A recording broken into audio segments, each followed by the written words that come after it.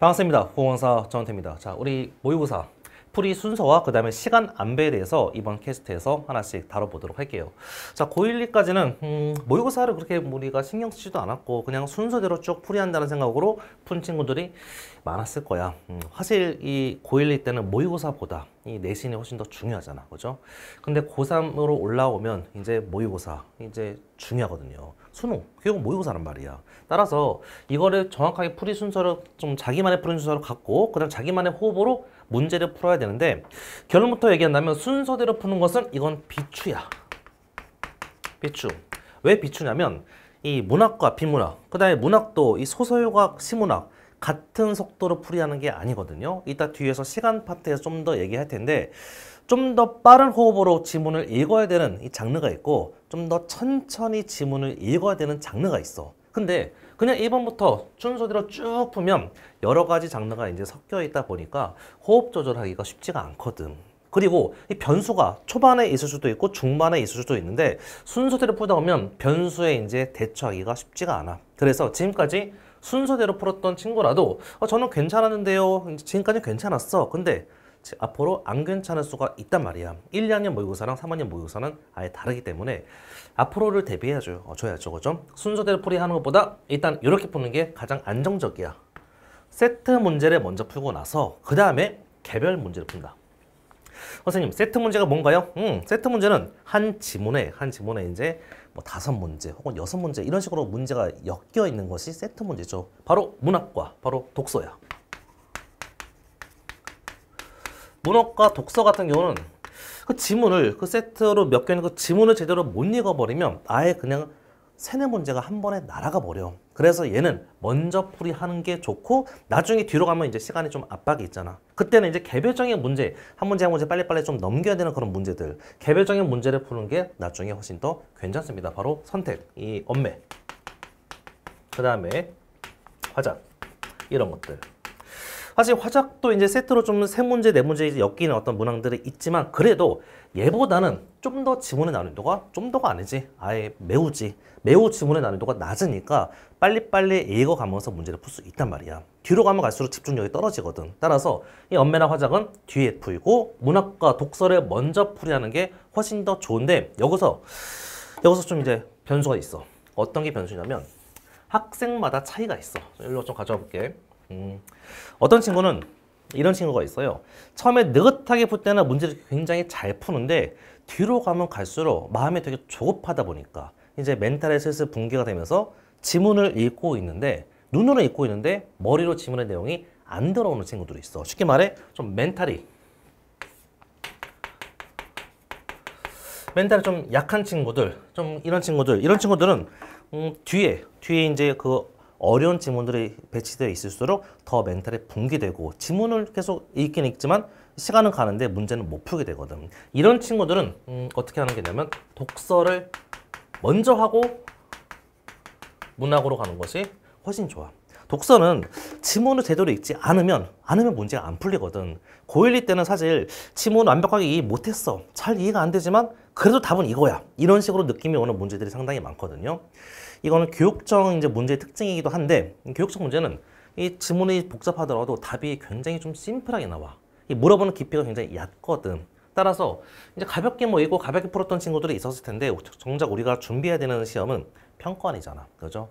좀 깊이 있게 물어보는, 좀 살짝 추론을 요구하는 어떤 지문의 어떤 패턴들. 그 최근의 패턴이기 때문에 이 처음에 음, 독서를 좀 안정적으로 문제를 풀고 그 다음에 나중에 문학을 푸는 것이 멘탈이 약한 친구들 사실 뭐 대부분의 친구들한테 이 방식을 강하게 추천하는 바입니다. 있죠. 자, 그 다음에 아, 자기는 이제 어, 저는 멘탈이 괜찮아요. 음, 저는 흔들리지 않아요. 멘탈이 어떤 좋은 친구들은 그러면 이렇게 하면 돼. 음, 멘탈이 좋은 친구는 자기가 어떤 것을 선택해도 괜찮은데 자기가 자신 있는 파트 자신 있는 파트 먼저 풀고 그 다음에 빨리빨리 먼저 풀고 그 다음에 아 이제 좀 여유 있게 이제 나머지 파트를 푼다. 나머지를 좀 이제 여유 있게 푼다. 빠르게 풀고 나중에 여유 있게 푼다. 이런 생각으로 가시면 될 것 같아. 근데 이런 친구들은 멘탈이 약한 친구들은 나중에 여유 있게 못 풀거든. 나중에 멘탈이 계속 깨지는 와중에 이제 시간을 째각째각 가고 옆에서 막 페이지 펄럭펄럭 넘기고 있으면 이제 심, 심장이 쿵쾅쿵쾅하고 문제 못 푸는 친구들은 아예 이렇게 가는 게 좋습니다. 알겠죠? 자 이렇게 이제 순서는 음, 이렇게 가는 것이 가장 안정적인데 쌤도 음, 모의고사를 여, 쌤이 여러분이 문제 푸는 건 똑같이 풀거든요. 6평, 어, 9평 수능 문제 갖다 놓고 풀 때 쌤도 이렇게 풀어. 쌤은 어떻게 푸냐면 쌤은 그나마 누가 뭐 쫓아오는 건 아니잖아, 그지? 가볍게 문학을 싹 풀어. 문학 싹 풀고 나서 비문학을 좀 여유 있게 풀어. 그 다음에 이제 이 언매나 화작 문제 푸는 식으로 이제 가거든요. 자, 요거 맞춰가지고 본인이 어떤 스타일인지 본인이 맞춰서 가시면 될 것 같아. 자, 근데 중요한 건 뭐냐면 주의사항 있죠? 주의사항. 최소한 한 3회, 모의고사 3회 정도는 풀어야지 나만의 호흡이 생기거든. 나만의 호흡이 뭐냐면 바로 이거야. 나만의 호흡. 아, 내가 음, 처음에 이제 그 독서를 풀었어. 내가 독서를 다 풀 때까지는 이 정도 시간에 도달해야지. 아니면 내가 문학을 풀어. 먼저 문학을 먼저 이- 한 문학을 20에서 23분 정도 내가 문제를 푼다 생각하고 독서로 가야지. 이런 식으로 본인만의 호흡이 있거든. 근데 그 본인만의 호흡을 가지려면 최소한 3회는 풀어줘야 돼. 최소한 3회는. 그래서 가끔 이런 친구들이 있어. 아, 이번 시험에는 순서를 좀 바꿔볼까? 그럼 이번 시험은 그냥 버리는 버리는 연습하는 시험이라고 이제 저 취급하는 거거든요. 다시 최소한 3회는 연습을 해야 연습을 해야 이제 자기 이제 그 패턴, 자기 순서가 생기는데 중요한 시험을 이제 연습처럼 처리하면 안 될 거 아니야, 그죠? 그래서 이 중요한 시험, 여러분이 중요한 시험 특히 이제 뭐 3월 중요하지. 왜 중요하냐? 겨울 동안 공부하고 나서 처음 보는 3학년 모의고사잖아. 그러다 보니까 중요해. 못 봐도 괜찮아. 아- 아직 남은 시간 많지만 그래도 심리적으로 좀 중요하거든요. 3월 첫 시험. 그 다음에 4월은 뭐 그냥 가볍게 보면 돼. 다른 모의고사 가볍게 보면 되고 6평. 그냥 9평은 좀 가벼운 마음으로 볼 수 있고 그 다음 수능. 3월 6평 그 다음에 수능 이때 이때 갑자기 순서를 바꾸는 것은 아 이건 정말 비추. 그냥 이번 수능 그냥 연습이다. 어, 난 내년 수능은 어, 볼 거다. 이번 수능 그냥 가볍게 이제 뭐 풀이 시간이나 연습하자. 그런 정말 그런 친구는 없겠지 그치? 그러니까 그런 생각이라 그런 생각은 더 없으니까 이런 이제 중요한 시험은 절대 순서를 바꾸면 안 되고 이런 시험에 대비하기 위해서 지금 응, 연습하면서 모의고사 풀 때 이제 자기만의 순서로 이제 어, 가란 말이야. 알겠죠? 자 언제까지 여러분의 순서를 이제 어, 정해주시면 되냐면 음, 6평? 가장 이상적인 것은 6평. 6평 전까지 6평 전까지 자기만의 자신의 순서 자기의 자신의 풀이 순서를 정하는 것이 괜찮아. 뭐 이렇게도 풀어보고 음, 이렇게 한 두세 번 풀어봐. 그리고 이렇게도 두세 번 풀어봐. 아 나는 이렇게 푸는 게 낫겠다. 알겠죠? 한 두세 번씩 풀어보면 자기만의 순서가 좀 생기거든. 한 번 풀고 넘어가지 말고 두세 번 풀고 6평 전에 자기만의 순서가 생기는 게 가장 좋고 아무리 늦어도 아무리 늦어도 9평 전. 이게 마지막 기한이야 마지막 자기만의 순서를 정할 수 있는 마지막 기한. 9평 전에는 나만의 순서가 생겨야 돼. 9평 이후에는 순서를 바꾸면 안돼. 9평 이후에는 계속 이제 final 모의고사 풀이하면서 자기만의 순서로 계속 모의고사 풀이하면서 호흡 조절하는 거. 요거 시간 관리하는 거. 계속 연습해야 되거든. 알겠죠? 6평 전에 뭐 구하면 좋고 마지막 9평 전에는 무조건 나만의 순서가 있어야 된다고 보시면 될 것 같습니다. 자, 그 다음에 시간을 이 안배하는 게 좀 중요한데, 자, 침판 정돈하고 계속 얘기하도록 할게요.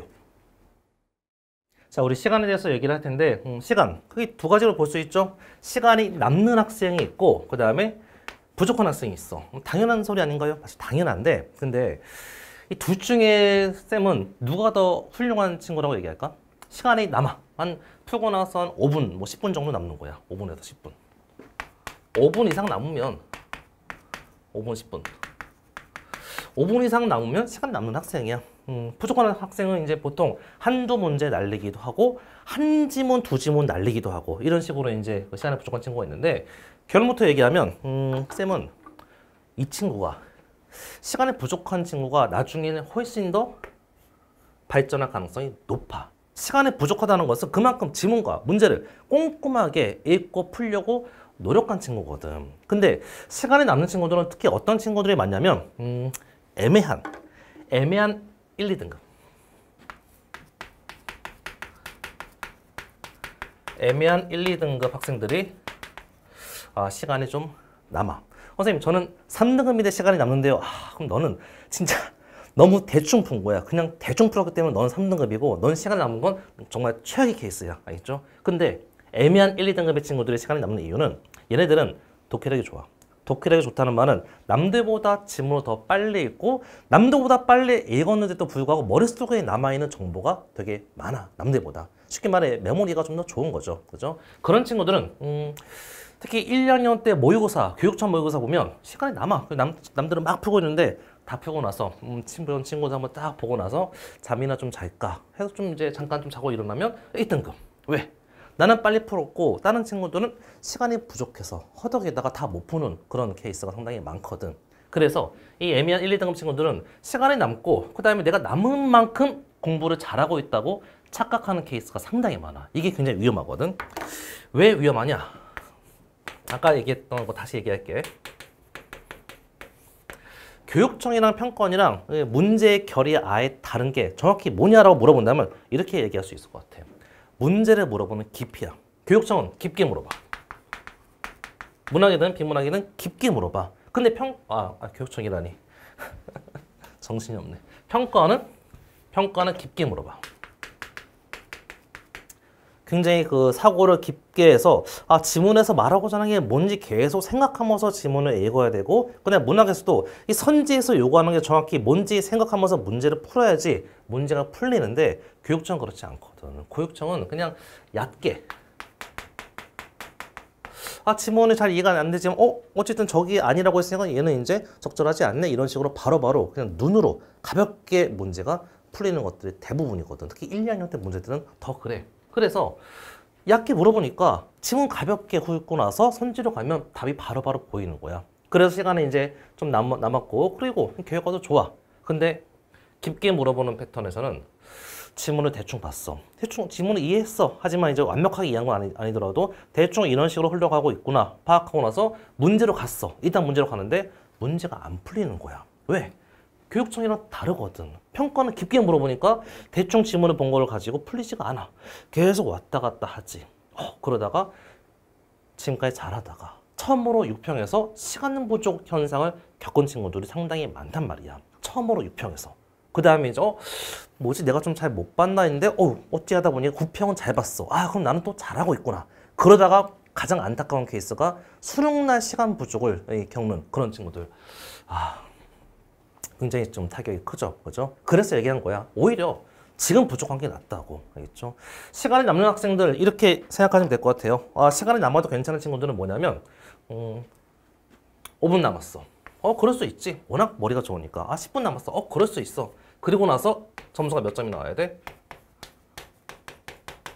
100점이 나와야 돼. 그러면 5분 남고 10분 남은 거 인정할 수 있어. 근데 5분 남았어. 10분 남았어. 하나 틀렸어. 두 개 틀렸어. 아, 그러면 너는 좀 더 지문에서 가져오고 가져왔으면 좀 더 천천히 보면서 선지를 봤으면 실수하지 않고 하나 더 맞아서 100점이 될 수 있는데 그거를 너무 대충 지문을 보고 너무 대충 문제를 봤기 때문에 100점은 못 맞은 거야. 좀 더 템포로 늦추면서 가셔야 돼. 어디서 템포를 늦추냐? 늦추냐? 이런 친구들은 음, 특히 독서 지문 때 독서 지문에서 좀 더 템포를 늦추세요. 좀 더 천천히 읽고 10개 정보를 가져왔으면 좀 더 한 15개, 20개 정보를 가져오란 소리야. 지문에서 말하고자 하는 게 뭔지 정확하게 캐치하고 더 가져와서 안정적으로 문제를 풀어주세요. 그래서 100점 맞으라고. 알겠죠? 독서 지문 좀 더 천천히 읽고 그 다음에 문제에서 요구하고 있는 것이 정확하게 무엇인지 캐치하고 나서 실수하지 말라고. 알겠죠? 좀 더 지문에 머물러. 알겠죠? 그래서 가장 이상적인 시간이 뭐냐라고 물어본다면 이렇게 얘기할 수 있을 것 같아. 가장 이상적인 시간. 이상적인 시간은 5회 말, 5회 말 마킹까지 끝났어. 5회 말 마킹 후, 음, 한 2, 3분 정도 남았어. 2, 3분. 2, 3분 정도 아니면 뭐 1, 2분도 괜찮아. 2분 정도 괜찮아. 2, 3분 딱 남았을 때, 야, 넌 정말 시간을 잘 쓴 거야. 새 거 다 쓰고 이제 이제 딱 마킹까지 끝낸 거야. 알겠죠? 자, 이게 이상적인 시간 배분인데 음, 그렇지 않은 친구들 좀 더 좀 더 천천히 지문 눌러서 좀 가라고 좀 얘기한 거고 많은 친구들 사실 이런 친구들이 죠. 사실 부족한 친구들. 시간이 부족해. 아, 이 친구들은 이제 그 모의고사 볼 때마다 좀 스트레스 좀 받거든요. 그런 친구도 있어. 내신은 되게 잘하는데 이 모의고사만 보면 점수가, 점수가 또 안 나오는 친구들이 있어. 그죠? 시간 관리도 안 되고 여러 가지 복합적인 문제가 있을 텐데 일단은 이렇게 볼 수 있을 것 같아요. 첫 번째, 내가 시험장에서 내가 시험장에서 시간을 어디에 쓰는지 요거를 냉정하게 자기를 돌아봐야 돼. 모의고사를 우리가 푸는 이유가 뭐냐면 시간 관리를 하기 위해서 그리고 자신을 돌아보기 위해서 모의고사를 푸는 거거든. 실무로 여러분이 집에서 풀 때 이걸 꼭 생각해 줘. 내가 시간을 정확히 어디에 써서 부족한지. 그죠? 그러면 여러 가지 고민들이 나오거든요. 내가 지문을 읽는데 너무 시간을 많이 썼다. 아니면 내가 문제를 풀이하는데 문제를 풀이하는데 특히 고민하는데 고민하는데 너무나 많이 시간을 썼다. 이런 식으로. 혹은 내가 넘어가야 되는데 아 그 한 문제. 한 문제에 집착해가지고 너무나 많이 시간을 썼다. 이런 식으로 여러 가지 변수가 많으니까 내가 정확히 어디다 시간을 썼는지 이걸 꼼꼼하게 좀 생각을 해봐. 알겠죠? 그리고 하나 더. 초반에 얘기했던 게 이거거든요. 파트마다 완급 조절해줘야 돼 완급 조절. 완급 조절이 뭐냐 빠르게 문제를 풀어야 되는 파트가 있고 천천히 풀어야 되는 파트가 있거든 자 그러면 가장 가장 빠르게 아, 가장 천천히 문제를 풀어야 될 파트 바로 당연히 독서죠 독서 독서는 가장 천천히 지문을 읽어야지 지문에서 찾을 걸 찾고 나서 그 다음에 문제로 넘어가서 풀 수 있단 말이야. 독서는 특히 지문은 지문은 아주 천천히 읽으세요. 쌤이 천천히 읽으라고 한다고 해서 여유 있게 읽으라는 것은 분명 아니야. 시전에서 어떻게 여유를 부릴 수 있니? 천천히 읽으라고 하는 것은 아 필자가 말하고자 하는 게 뭐지? 어? 두 번째 문단, 세 번째 문단 서로 다른 얘기를 하고 있는데 공통점 차이점은 뭐지? 문제가 나왔네? 그럼 문제를 어떻게 해결해 가지? 이런 식으로 생각을 계속하면서 지문을 더 파고들어서 읽으라고. 그리고 나서 이제 문제는 빠르게 가셔야죠. 문제는 빠르게. 가장 시간을 투자해야 되는 파트가 어느 파트냐 물어본다면 당연히 독서라고 얘기할 수 있을 것 같아요. 그렇죠? 물론 정말 쉬운 독서, 독서가 세 개 중에서 하나는 어렵고 하나는 쉽고 하나는 보통 중간으로 나오거든요. 그러면 쉬운 독서 지문은 빠르게 가도 되지만 좀이라도 어렵다. 그럼 바로 템포 늦춰가지고 천천히 가는 소리야. 여기서 빨리 가버리면 뒤에 문제 풀 때 답이 없어. 다시 와서 왔다 갔다 하는데 시간 버린단 말이야. 알겠죠? 애초에 제대로 좀 읽어주세요. 자, 그 다음에 문학인데 문학도 모든 지문을 다 뭐 빠르게 천천히 가는 게 아니야. 그나마 좀 더 천천히 가야 되는 파트가 문학 중에서 문학 중에서 고전 소설.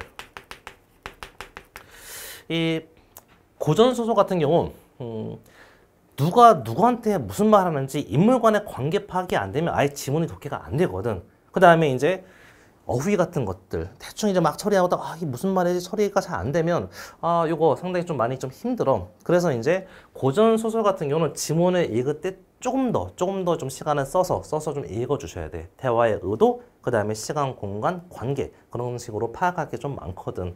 그 다음에 이제 현대소설. 현대소설이 쉽게 나올 때는 빠르게 읽으면 돼. 다만 어 인물이 좀 많다? 시간 공간이 계속 변한다? 그러면 신경 쓰기 많으니까 좀 더 천천히 가야지, 그지? 얘는 그나마 좀 더 천천히. 상대적이야. 독서보다 빨리 가. 독서보다 빨리 가면 되는데 얘보다는 좀 천천히 가는 소리야. 누구보다? 시문학. 시문학보다는 빨리 가야지. 특히 시문학에서 이제 시간을 많이 쓰는 친구들이 있는데 시문학 문제 풀 때 시간을 쓰는 거 보면 현장에서 이제 문제를 이제 풀어 하고 이제 왔다 갔다 하면서 보거든 어떻게 푸는지 어디서 시간을 쓰냐면 고민할 때 시간을 써. 아, 이 구절의 의미가 뭐지? 아, 이 선지의 의미가 뭐지? 자, 여러분이 처음 보는 낯선 시를 만났어. 그 낯선 시를 한 두 번 봤는데 이해가 잘 안 돼. 특정한 구절이 이해가 잘 안 돼. 한 그 특정한 구절을 30분 동안 노려봤어. 아, 이게 이거구나. 갑자기 이해가 될까? 절대 안 돼. 시가 이해가 안 되는 것은 그 구절이 이 나의 어떤 사고가 맞지 않거나 아니면 내가 시는 사실 그 교수님들이 인생을 담아서 시를 쓴 거거든. 그 인생을 담아서 쓴 시를 이해하려면 나는 어느 정도 인생을 살아야 돼. 인생의 경험치가 있어야지 시가 이해가 되는 거거든. 근데 갑자기 모의고사 문제 풀다가 인생의 경험치 가- 갑자기 쌓이나? 아니거든. 지금 이해가 안 되는 그 구절은 너가 집에 가도 이해가 안 될 거야. 그러니까 시문학은 시간을 투자하는 게 굉장히 음, 안타까운 투자라고 볼 수 있을 것 같아. 시간은 투자했는데 얻어가는 건 없거든. 여기서 얻어가는 게 많지. 인명 관계도 파악하고 대화 얻어 파악했어. 어휴, 독서 지문 시간 투자하면 훨씬 더 지문을 잘 이해할 수 있단 말이야. 투자해서 얻어갈 수 있는 게 많은 파트랑 얻어갈 수 있는 게 없는 파트는 완급 조절해야지. 시문학은 그래서 현대시든 고전시가든 좀 빠른 호흡으로 문제를 푼다 그런 생각으로 가시면 돼. 그냥 시를 봤는데 어 시가 이해가 안 돼. 음, 그래 일단 가보자. 문제로 가보자. 보기 보면서 풀자. 이런 식으로 가면 된다는 소리야. 근데 그거를 절대 비문학에서 하지 말라고. 일단 문제로 가보자. 남는 거 없어. 다시 지문 와야 돼. 알겠죠? 이해 여부를 물어보는 독서 파트랑 판단 여부를 물어보는 시문학 파트를 같이 처리해 주시면 절대 안 돼요. 자, 그 다음에 이제 이 선택. 선택 파트. 좀 빠르게 해주셔야겠죠. 그죠? 그렇다고 선택에서 특히 이 매체, 엄매 선택한 친구들 매체, 그리고 화작 선택한 친구들. 아, 화작은 지문이 좀 쉽긴 하지만 그래도 빠르게라도 읽긴 읽어야 돼. 지문이 쉽다고 좀 대충 지문을 뭐 넘기고 이제 문제 중심으로 가자. 그런 친구들이 최근 평가원 문제에서 이제 된통 당하거든. 최근 평가원 화작이 좀 어려워졌어. 그렇다고 지문의 난이도가 확 올라간 건 아닌데 선지의 난이도가 올라갔어. 더 디테일하게 물어보거든. 그러니까 지문을 읽긴 읽어야 돼. 대충 지문을 보면 틀리게끔 문제가 구성되니까 화작은 지문을 읽긴 읽어야 돼. 빠르게 읽어야겠지. 그지? 매치 파트도 마찬가지야. 조건 제대로 보면서 일단 들어가셔야 돼. 그래야지 실수를 안 할 수 있습니다. 일단 풀이 시간은 이렇게 점점 더 시간 투자하고 적게 투자하고 적게 투자할 이 파트. 그죠? 완급 조절하면서 가야 돼. 그러니까 1번부터 끝번까지 쭉 가는 것이 아니라 그래 독서 투자해서 가자. 응 문학 빨리 가자. 응 선택 빨리 빨리 가자. 이런 식으로 이제 완급 조절하시면 되겠습니다. 자 그 다음에 어떤 시- 친구들이 있냐면 아 이 검토 시간을 좀 이 여유 있게 좀 가는 친구들이 있어. 아니 세전이잖아. 이 제한 시간 내에 문제를 빨리빨리 풀고 끝내야 되거든. 근데 이 평소에 문제 푸는 것처럼 1번부터 5번까지 싹 다 정답과 오답의 근거를 이 검토할 수 있는 시간은 모의고사 시험장에서 없어요. 그래서 다시 한번 검토는 이렇게 얘기할 수 있을 것 같아. 검토. 독서랑 문학으로 나눠서 얘기할게. 독서는 있잖아. 내가 선지를 보는데 뭐 1번부터 2번, 3번, 4번, 5번 보잖아. 지문을 읽고 1번 선지 보는데 어? 1번이 확실해. 그러면 1번이 확실하다. 아 그러면 1번 체크하고 넘어가는 거야. 왜? 독서는 OX가 확실하잖아. 1번은 내가 확실해. 근거가 있어. 정확히 시각적으로 내가 근거를 확인할 수 있고 내 친구한테 1번이 왜 답인지 얘기할 수 있어. 그러면 일단 다른 선지는 skip. 그리고 나중에 시간이 남았을 때 그때 와서 검토하면 돼. 알겠죠? 다른 선지는 일단 skip하고 가셔야죠. 근데 문학은 좀 달라. 어? 1번이 확실해. 1번 내가 봐도 좀 아닌 것 같아. 그래도 더 아닌 놈이 밑에 있을 수 있거든. 문학은 상대적인 판단을 요구할 때가 종종 있어. 그래서 1번이 확실하더라도 그래도 5번까지 가보자. 더 아닌 놈이 더 이상한 선지가 있을 수도 있으니까 문학은 확실하게 가기 위해서 1번이 확실하더라도 5번까지 살짝 보고 아 그래 너가 확실해 그러면 보고 나서 체크하고 가는 거야 알겠죠? 이렇게 분명히 다르죠 그죠? 독서에서 선지 하나하나 다 근거 찾고 있으면 이거 시간 시험 끝나 알겠죠? 나중에 시간 남았을 때 남았을 때 검토하는 거야 알겠죠? 이렇게 좀 봐주시면 될 것 같아 음, 문법은요? 아, 문법은 엄매, 엄매라고 할게요. 엄매는 거의 독서랑 이제 비슷해요. 그죠? 답인 게 아닌 게 확실하게 있으니까 바로바로 넘어가셔도 괜찮아. 그죠? 화작도 마찬가지인데 바로 바로 넘어가도 되는데 혹시 어, 이번에 답인 것 같은데 아 근데 좀, 아, 좀, 좀 찝찝해. 왜 답인지 설명을 잘 못하, 못하겠어. 그때는 이제 어, 다른 선지까지 좀 검토를 해야겠지. 그지? 그 정도 봐주시면 될 것 같아요. 독서와 똑같이 하되 음, 애매할 때는 다른 선지까지. 그죠? 자 그리고 예, 여기로 와서 음, 이 친구들 시간이 부족한 친구들은 지금 좀 스트레스를 받고 하, 내가 좀 시간만 많았다면 음, 이 등급이 달라지는데 하, 그런 친구들이 많이 있어 그죠 근데 지금은 지금은 오히려 괜찮아 오케이 지금은 괜찮아 괜찮아 괜찮아 왜 지금은 괜찮냐 시간을 줄일 수 있는 여지가 상당히 많거든. 응? 우리 이제 계속 이제 EBS 공부하면서 EBS 문학 작품 연기되잖아, 그죠? EBS 공부하면서 EBS 연계로 여기서 시간을 문학에서 확실하게 줄여갈 수 있어.